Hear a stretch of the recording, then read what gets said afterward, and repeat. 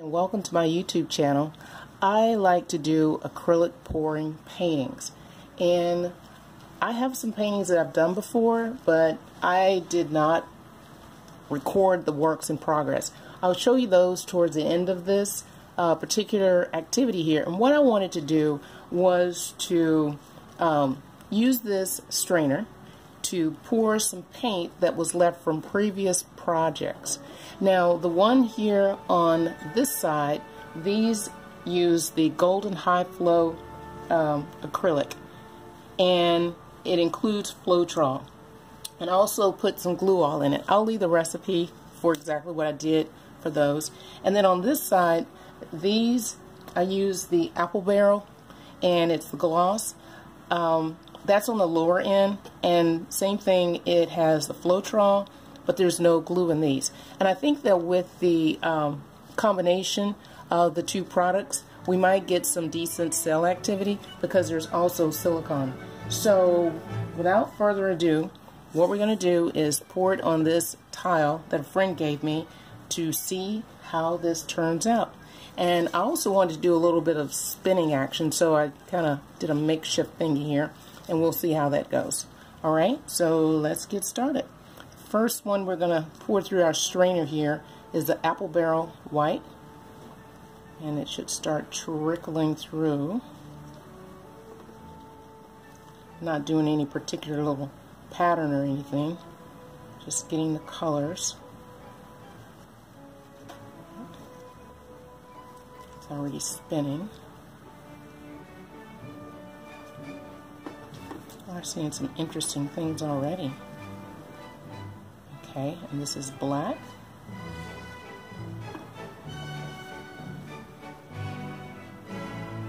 I'm going to reach over here and get some of the high flow, golden high flow. Put a little white through there.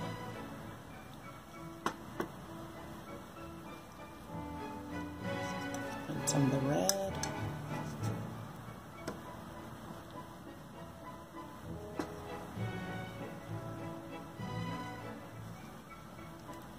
Some more the purple.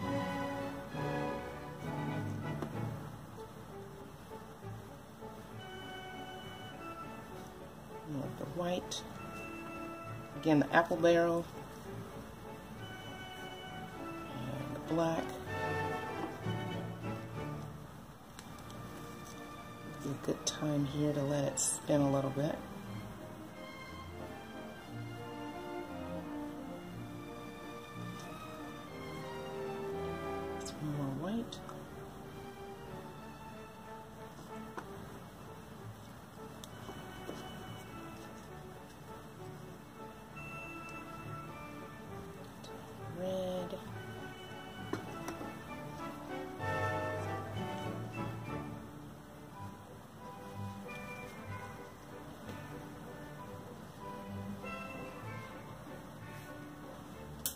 Pour the remaining white from the apple barrel. Move it aside here so you can see some of the colors and the interesting, interesting patterns. Kind of like a marbling effect.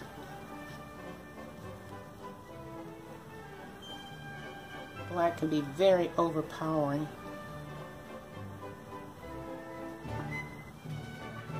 Has nice definition. Some more white.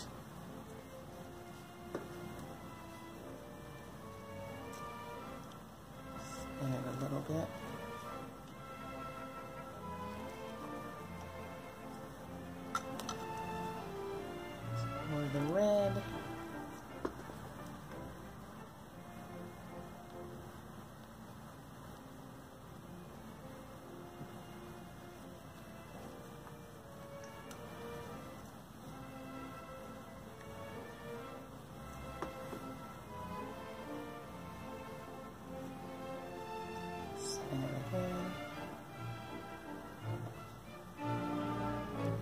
Is so cool.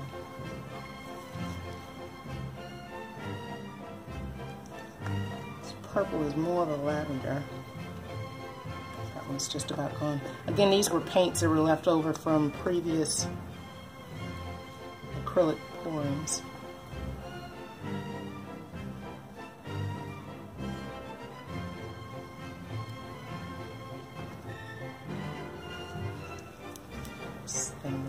More. Wow, that is neat. I really like that. I've seen a lot of people who are very skilled at the acrylic pourings actually do this, and I've been wanting to do it.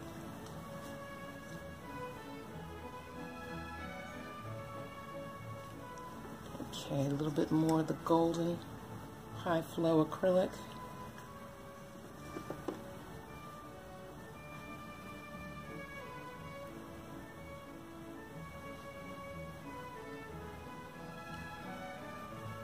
Okay. That's what it looks like underneath.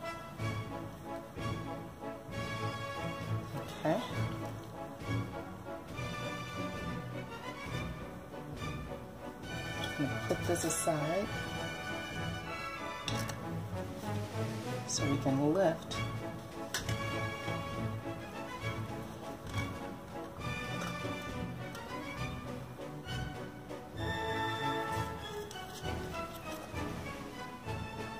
Normally I would have prepped this tile, but I didn't do anything to it other than clean it, clean the surface of it with alcohol.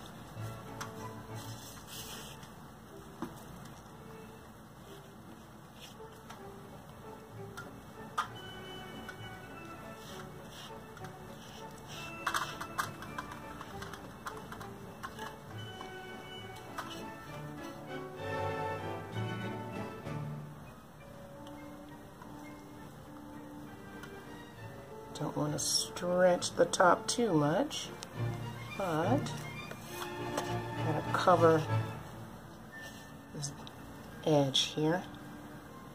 Just gently, gradually rotate it around. Oh, again, this is a 12 inch square tile. You can pick these up from your local hardware store or the big box stores like Lowe's and Home Depot.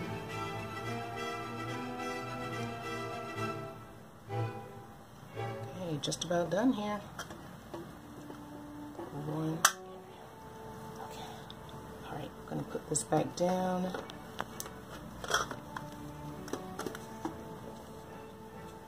I like it.